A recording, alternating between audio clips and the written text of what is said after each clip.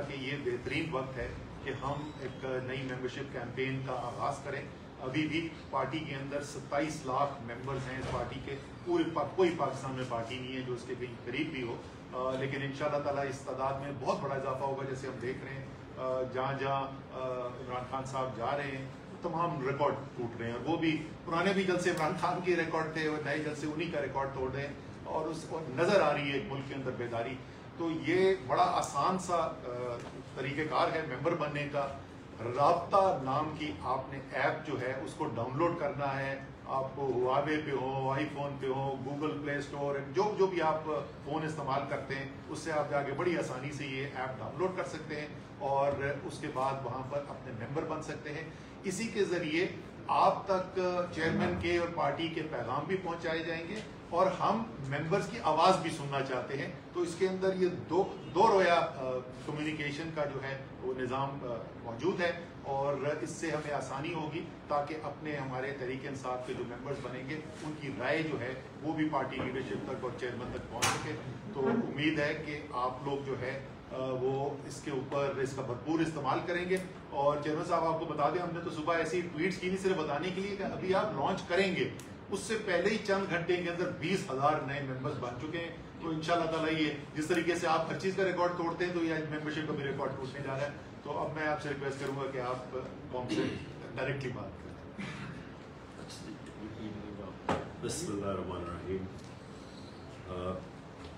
सबसे पहले तो फिर से आप अपनी सारी टीम को जिन्होंने बड़ी मेहनत से ये ऐप डेवलप की है और ये जो सारा इसका बड़ा लंबा, मुश्किल प्रोसेस क्योंकि इसमें जब भी हम ये लॉन्च आज जब लॉन्च करेंगे तो मुझे इसमें कोई शक नहीं कि एकदम लोड पड़ेगा और इसमें मसले आएँगे। लेकिन ये ये एक पार्टी को इदारा बनाने के लिए ये बहुत इम्पोर्टेंट एक्सरसाइज है। देखिए, मैं तहरीक इंसाफ को वो पार्टी बनाना चाहता हूँ जो कि पाकिस्तान में हमारे जाने के बाद भी इस दुनिया से ये चलती जाए पार्टी और ये फिर एक, एक, एक ऐसा इदारा हो जिसके अंदर मेरिटोक्रेसी हो। वो मेरिटोक्रेसी यहाँ पाकिस्तान के अंदर अगर हमारी पॉलिटिक्स आगे नहीं बढ़ी तो मेरिटोक्रेसी नहीं है फैमिली पार्टीज़ हैं। बाप जनाब प्राइम मिनिस्टर बन गया बेटा चीफ मिनिस्टर बन गया तो मेरे ख्याल में और भी रिश्तेदारों को सारी जगह डाल दें। जिस तरह और मुल्क के अंदर कोई किसी में कैपेबिलिटी नहीं है, और उसी तरह दूसरा भी खानदान, वो भी बैठा हुआ है सारे रिश्तेदार अंदर। मैं चाहता हूँ कि तहरीक इंसाफ वो पार्टी बने, वो एक इंस्टीट्यूशन बने पाकिस्तान में, जिसके अंदर सबसे इम्पोर्टेंट चीज़ है मेरिट दुनिया के अंदर जो मुल्क तरक्की करता है, उसके अंदर जो मेरिट का निज़ाम है, वो बेहतर होता है तो इसलिए तरक्की करता है। एक छोटी सी मुल्क है, न्यूजीलैंड, अगर उसकी पचास लाख की सारी आबादी है अगर वो पाकिस्तान को क्रिकेट में हरा देता है तो 22 करोड़ लोगों को इसका ये मतलब नहीं कि टैलेंट नहीं है। इसका मतलब कि हमारी जो मेरिट ऊपर टैलेंट को ऊपर लाने का वो सिस्टम नहीं है। यही पॉलिटिक्स में है कि वही खानदान आ जाते हैं वही लोग जिनकी मेरिट हो या ना हो क्योंकि उनका खून का रिश्ता है। और जो सारी आ, जो वजूहत थी कि जमहूरियत ऊपर चली गई और बादशाह नीचे चलेगी उसकी सारी वजह मेरिट पे आ जाती है। क्योंकि डेमोक्रेसी जितनी बेहतर हो, उतनी ज़्यादा मेरिटोक्रेसी है। जो बादशाह है वो सिर्फ़ खून के रिश्तों के ऊपर होती है इसलिए वो पीछे रह गई दुनिया में। तो चाइना भी अगर आज आगे बढ़ा है तो उनका जो मेरिट का सिस्टम है, वो शायद डेमोक्रेसी से भी बेहतरीन है। उनकी जो कम्युनिस्ट पार्टी सारे मुल्क का मेरिट ऊपर ले आती है। तो हमारा जो मकसद है इसका नंबर वन मेंबरशिप और फिर उसके बाद नंबर टू तहरीक इंसाफ को एक एक इदारे बनाने की कोशिश करें और उस इदारे के अंदर पार्टी के अंदर इलेक्शन करवाए जाए।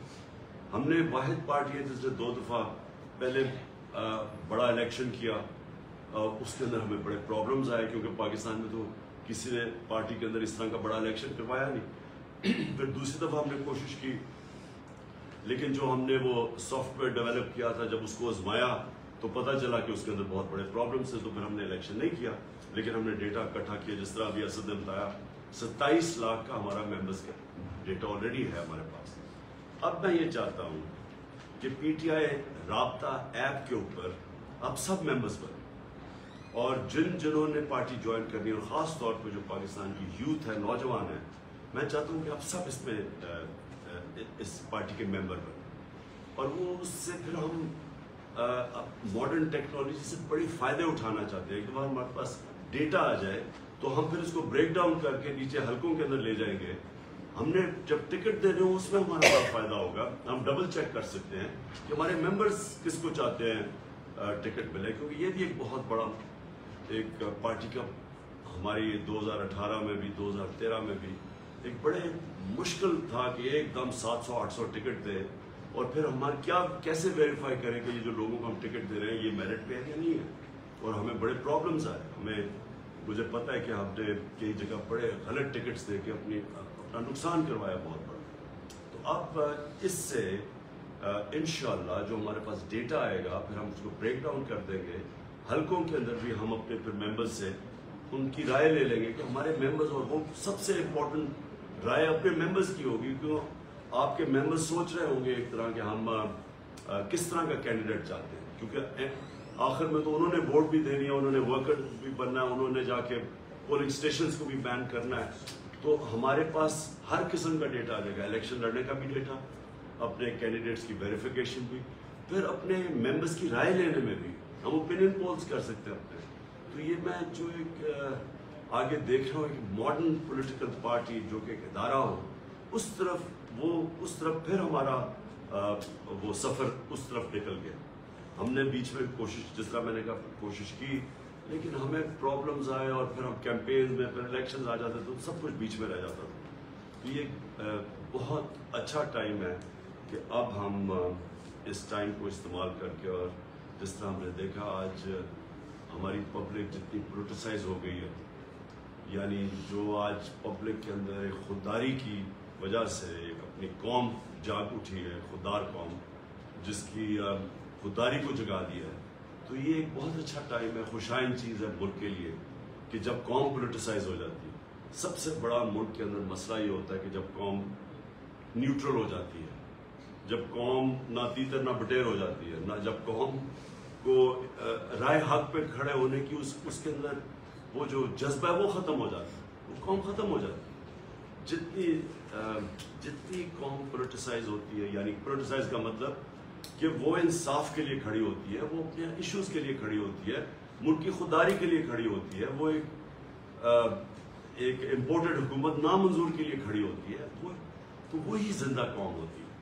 तो इसलिए मैं आज चाहता हूँ कि ये जब हम लॉन्च करेंगे मैं चाहता हूँ कि आप सब इसकी मेम्बरशिप लें और हमें हमारा हमारी भी मदद करें हम डेटा इकट्ठा करें और हम इस तरीके इंसाफ को वो पार्टी बना सके जो मेरी छब्बीस साल पहले बात ये बता दें कि सारी दुनिया में पाकिस्तानी जो है वो मेंबर बन सकते हैं सिर्फ़ पाकिस्तान में सारी में ओवरसीज पाकिस्तानी में हमारा माशाल्लाह बहुत तहरीक इंसाफ वजीरा ही है सपोर्ट है।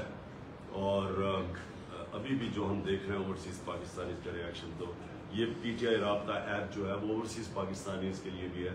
वो भी इस पर आ सकते हैं। मैं सिर्फ़ एक और चीज़ कहना चाहता हूँ कि ओवरसीज़ पाकिस्तानीज़ को आज यहाँ से कि ओवरसीज़ पाकिस्तानीज़, मैं हमेशा समझता हूँ पाकिस्तान का सबसे बड़ा असास है और ये जो कोशिश की जा रही है, स्टेटस को कि ये माफियाज, कि किसी तरह ओवरसीज़ पाकिस्तान की वोट ना हो, यानी अगर वो वोट ना दे इससे बड़ा जुल्म किया कि उनके पैसे पे मुल्क चल रहा है इकतीस अरब डॉलर वो ना दे तो आज हमारा बिल्कुल ही दिवालिया निकल जाए।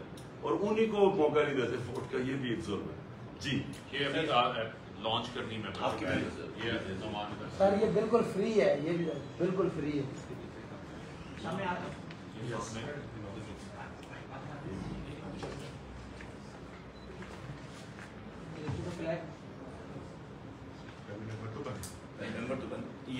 है